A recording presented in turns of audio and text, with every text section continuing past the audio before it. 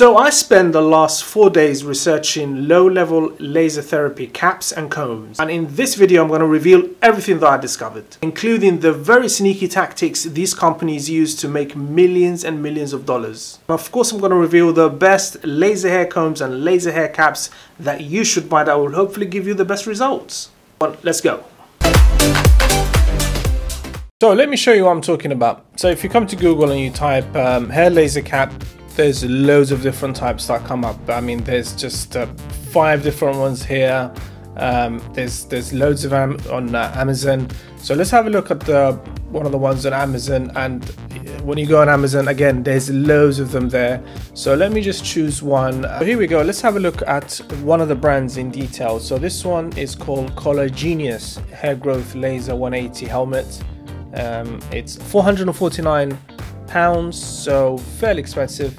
Um, it's got decent average ratings on um, on Amazon, and the key thing is I want you to see is um, here they say is approved by the FDA. Some of them say cleared by the FDA. Now people think that's the same. It's definitely not the same, and I'll show you that in a minute. And the other thing I want to show you is there's another claim here, clinically proven. Now what does that mean exactly? Can they claim this is clinically proven?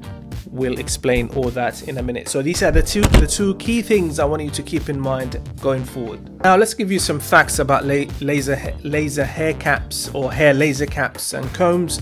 They are all medical devices. So in the UK, Canada, um, most Western countries, the US, these count as medical devices and of course that means they require government clearance or approval and clearance and approval are not the same. We'll explain that in a minute.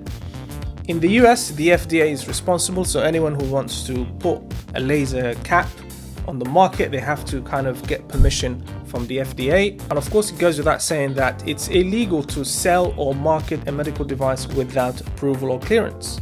So let's explain this approved device process because a lot of these laser caps are claiming to be approved, but what does that exactly mean? So usually Approved is reserved for class 3 devices. So devices in the eyes of the FDA, the regulators, the government come in three, three classes, uh, class 1, class 2, class 3. So class 3 is the most serious devices. These are things like heart pacemakers and dialysis machines, really really serious machines that you really want to be checked properly. And of course the approval, the approval process for these devices is very long, very rigorous, they require good evidence the company has to supply data, safety data, efficacy data, studies. It takes weeks, if not months, and it's a very, very tough process. But you might have noticed some of the laser caps say cleared, and people think that cleared is the same as approved. Cleared is nothing like approved. Cleared is the easy route. So the FDA have given this route which is usually reserved for class 1 devices. Class 1 devices are really simple devices that don't really put people's um, health in danger if they go wrong. Um, things like tongue depressors, um, that piece of wood that when you go to the doctors they push your tongue down with, that's technically a device even though you might think it's just a piece of wood. Laser caps are also device one, sorry, class one devices. And to get this cleared, all you have to do, and this is unbelievable, all you have to do is submit some paperwork. Uh, I think it's called the 510k submission or form. There's no need to provide clinical trials, no data. And you might be thinking, how do they do this? How is this even possible? It's a very, very simple loophole that allows them to get this clearance very easily, and I'm just gonna try and explain it now in simple terms. It's a simple loophole and it, it's, it's crazy. Let me just explain it to you. But there's a little rule with the FDA that you can have your device, any device cleared if you can prove that your device is very, very similar to an existing device that they've already approved. For example, if me and you make a laser hair cap, we just get a cap and we stuck with, you know, we stick some laser nodes in it and we go to the FDA and we say, listen, you've approved a device just like ours in the past that has that is in the shape of a cap that has lasers and we want you to approve ours because it works in the same way. We're going to use it for the same thing as in, you know, hair regrowth. And the FDA says, no problem, fill in this uh, 510 submission form and give it to us, give us three months and hey presto, we have a fully legal marketed laser hair cap that we can brand and sell ourselves and make millions. It's that simple. It's called the rule of equivalence. If you can prove your device is equivalent to one that they've already approved, you're good to go. Now, what about claims of clinically proven? Because as we saw in um, my example, let's have a look again. Quite a lot of them claim to be clinically proven. As you can see here, you see that quite a lot. So the question is, since most of these laser caps are cleared, can they claim to be clinically proven? Because remember, they're not approved. They, they, they are, you know, they're only cleared. So can they claim to be clinically proven? The answer came in 2017 in a case involving a brand called Capillus, and I'm going to explain the case now.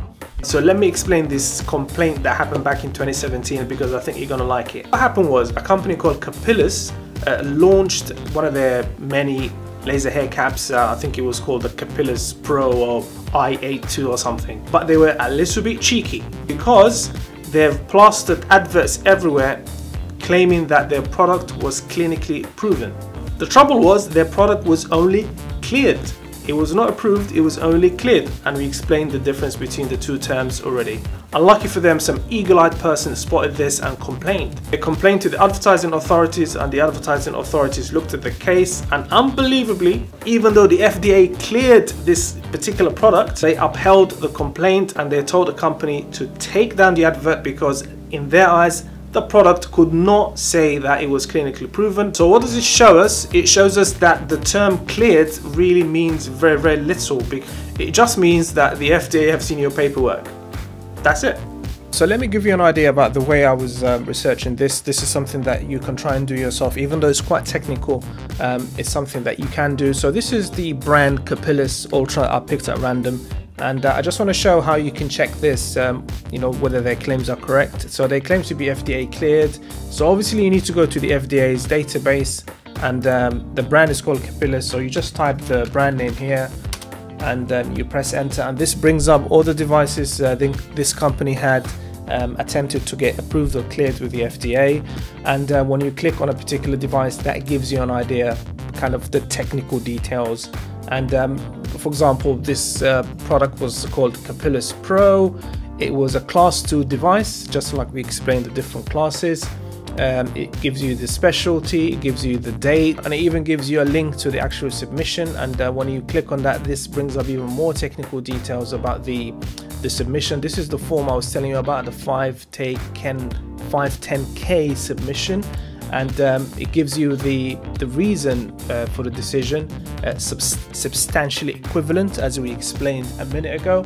So this is where you can go to really get deep technical details about each product with the FDA so a quick announcement. The people who do the best research end up with the best results. I've been in the industry for more than 10 years and uh, this is something I've noticed so to help you get the best hair transplant results you can, I've put together a package of information, tips and tricks using my insider knowledge and I've left the links in the description below. So if you're planning a hair transplant, I highly recommend you have a look at this. So the question is which low-level laser therapy cap or comb should you buy? I think you should stick purely to things that are marked approved because the term approved gives you confidence that the FDA have actually looked at the data, looked at the studies behind this product and you can have more confidence that it works. So what I'm going to do is I'm going to keep looking for uh, devices that are approved and I'm going to leave the link in the description below at some point, probably in a week or two after this video goes out. I have a question for you. Would you use a laser hair cap? Tell me in the comments below. I'm out of here. Take care.